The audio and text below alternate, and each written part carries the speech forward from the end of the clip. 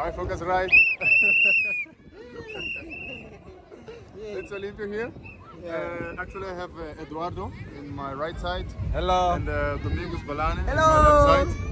Uh, sorry, I still, I still remember the guy who just say hi to Yo. you as well. Uh, this is first June. We're just now working as a volunteer Yeah. uh, in uh, this uh, event Yeah. called Matola Kids, Kids Festival. Yeah. So not, we're not trying to make the Children's Day better as, as much as possible. Yes. So we're here as a Focus Right volunteer, uh, as a Focus Right scholarship recipients volunteer now, volunteering in this in this day.